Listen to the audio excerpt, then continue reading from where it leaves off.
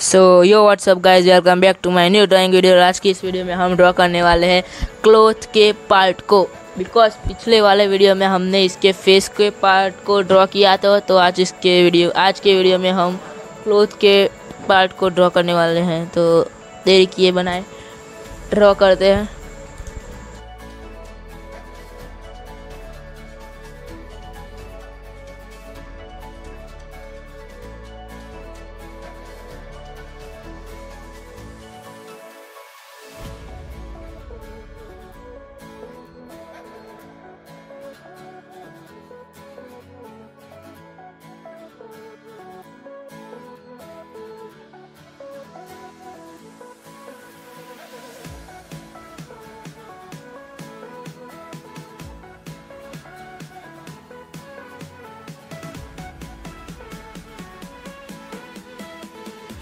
तो यहाँ पे क्लोथ के अंदर का जो टेक्चर है, वो मैंने ड्रॉ नहीं किया था तो अभी मैं इसके अंदर की ये जो डिजाइंस है, उसको भी मैं अभी ड्रॉ कर रहा हूँ।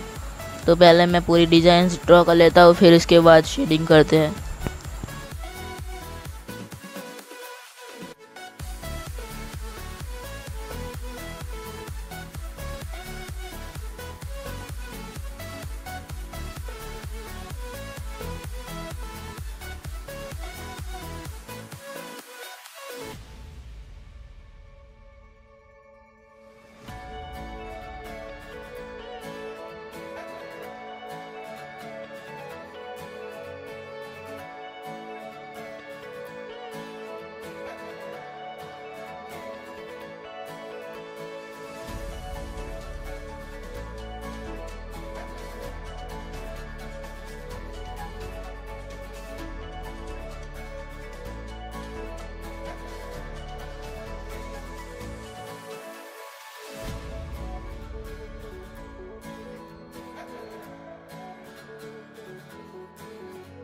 तो अभी मैंने यहाँ पे डॉम्स की मैकेनिकल इरेजर से अंदर की ग्रिड को इरेज कर लिया था ताकि वो शेडिंग में दिखे ना लाइंस सी नाक दिखे इसलिए। तो अभी मैं यहाँ पे ग्रिड और इरेज कर रहा हूँ जो हल्की फुल्की रह गई है उसको। और फिर इसके इस, इसके बाद हम शेडिंग स्टार्ट करते हैं।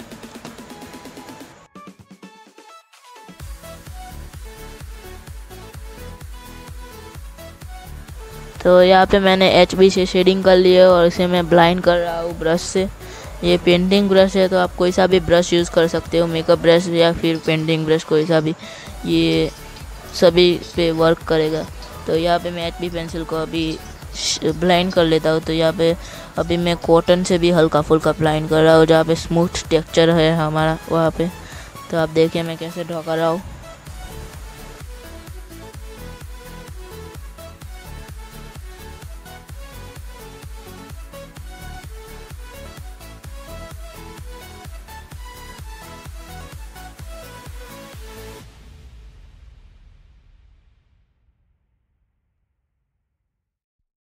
तो अभी फेस में हमारा सिर्फ़ नेक का पार्ट बच रहा था तो मैंने नेक के पार्ट को भी जैसा दिख रहा है वैसा ड्रॉ कर लिया। और इसके बाद अभी मैं ब्लाइंड कर रहा हूँ उस पेपर स्टम्प से और हल्के फुल्की हाइलाइट्स के लिए डम्स का इरेजर और फिर फिर से ब्लाइंड कर रहा हूँ इसे। तो ये देखिए, आपको यही प्रोसेस को सर्कल में राउंड करना है।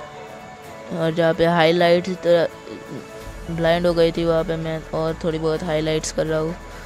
तो अभी यहाँ पे मैं फोर बी या पेंसिल का यूज़ कर रहा हूँ डिज़ाइंस के लिए। तो आप देखिए।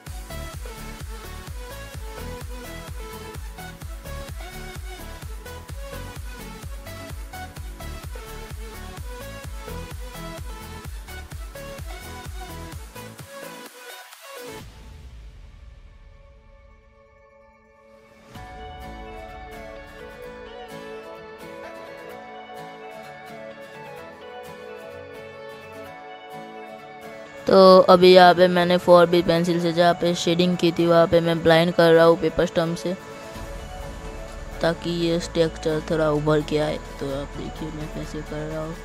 इसके बाद हम लेयर बदलेंगे। मेरा मतलब लेयर को बढ़ाएँगे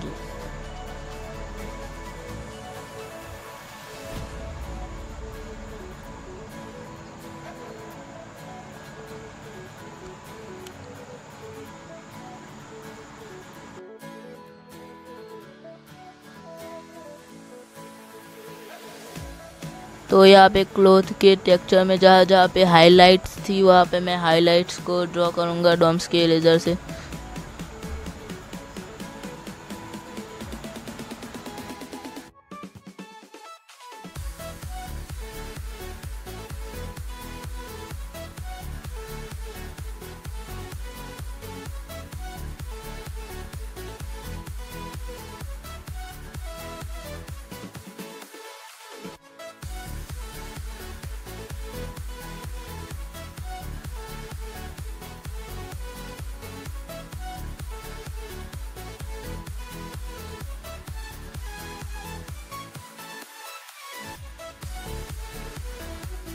तो अभी यहाँ पे जहाँ पे लाइट एरियाज़ था, वहाँ पे मैं नेडेबल इरेजर से हाइलाइट्स दे रहा हूँ हल्की फुल्के हाथ से, ताकि यहाँ पे थोड़ा बहुत लाइट दिख सके।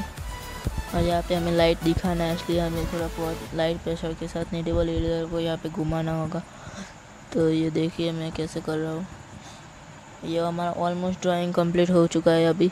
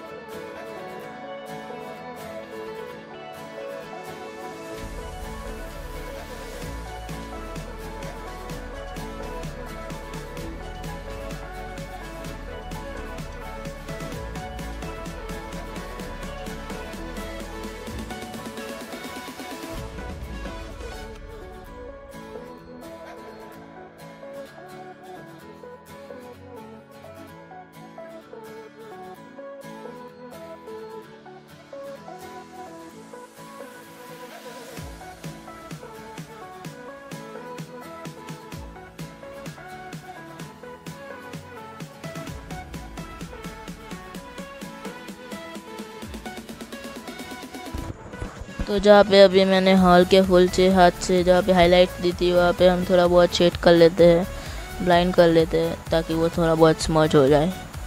तो यहाँ पे मैं ब्रश से ब्लाइंड कर रहा हूँ।